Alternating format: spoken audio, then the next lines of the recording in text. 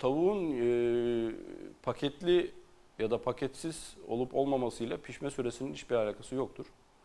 E, dediğim gibi pişme süresi etin tamamen sertliğiyle alakalıdır. Kesim yaşı e, normal piliçlerimizde biz 40-45 gün arasında kesimleri e, piliçlerimizi kesime alıyoruz. E, uzun e, kesim yaşı uzun olan piliçlerimizin e, pişme süresi de haliyle daha uzun oluyor.